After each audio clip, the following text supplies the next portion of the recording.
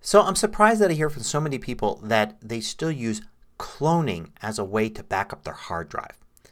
Cloning is a method where you use a special piece of software to make an exact duplicate of your internal hard drive on your Mac. You put this on an external hard drive and you've got a clone of what is on your Mac.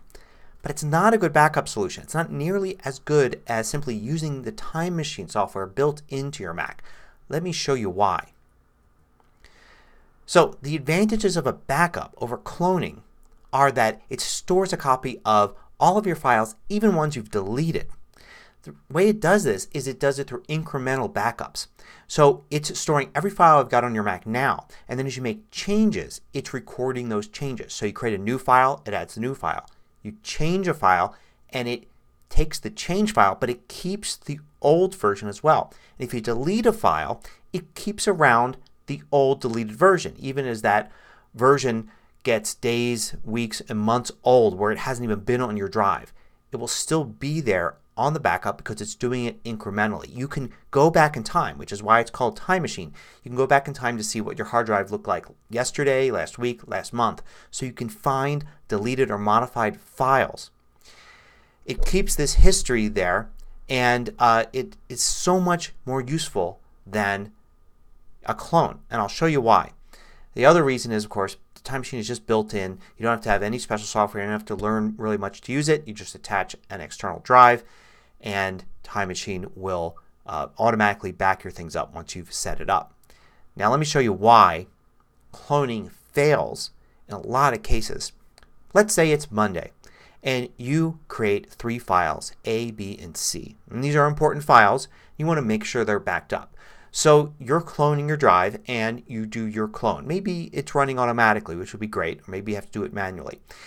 And the end of the day you've got a clone, an external drive that also has A, B, and C. This is great. You've got them on your internal drive and you have backups on your clone on your external drive. You can go to sleep feeling secure that your files are backed up. Now the next day. You start off and you have A, B, and C on your hard drive as well. Now here's where the problem comes in. You accidentally delete file B. Okay, it's not a disaster. It's deleted. It's still backed up in your clone. But you haven't yet realized that you've made this mistake. Now you go and you clone your drive again. You make sure that the external drive is an exact duplicate of your internal drive. So it backs up files A and C. It doesn't back up file B. Matter of fact, it removes it there because it wants to make it an exact duplicate of the internal drive. So you no longer have file B either on your internal drive or on your clone. And you don't realize this as you go to sleep. You think everything's backed up and fine. Next day you get up and you look and you see files A and C and you realize, oh no, file B is missing. What did I do? Let me go back to my backup. And you have your backup from Tuesday and you're looking for file B but it's not there. And this is the problem with cloning. And this is why incremental backups like Time Machine are so much more superior. Now there are still uses for clones. Primary use that people have historically used clones for is an emergency swap out. So imagine you've got a desktop tower. It's got an internal drive in there. You can undo a little uh, a latch on the back of your machine. You see all your drives. Uh, there's the drive that failed. You pull that drive out. You take your clone which is on the same type of hard drive. You stick it in. You close the back of your machine up. You boot it up and you're running again. This is great when you have like critical machines. You know, you're running some sort of critical system at work and you want to make sure that your downtime is almost nothing. If you find out your hard drive fails you can swap it out with your clone and get right back to work. It's not uh, as big a deal today for most people to actually get back to work from an incremental backup. Say your hard drive fails. Well you're going to probably need to get a new hard drive, right? Or maybe you find the hard drive still works fine but for some reason all the data is gone. You can still restore your system and then restore from Time Machine. It may take a few hours to do it if you have a lot of data but you can get back to work. For cloning, you know, of course, if it's a critical system, if you're more of a techie and you, uh, you know, you know all the hardware and all that, you can get back to work quicker. But most people don't need this today. In the rare case you actually need to use your clone, it's really not that time sensitive.